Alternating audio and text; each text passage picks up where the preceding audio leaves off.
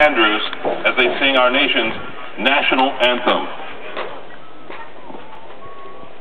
Okay, can you see by the dawn's early light what so proudly we hailed at the twilight's last gleaming,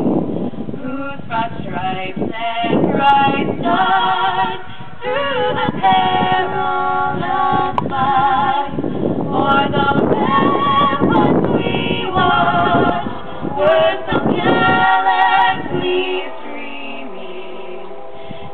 rockets ran there, the bombs bursting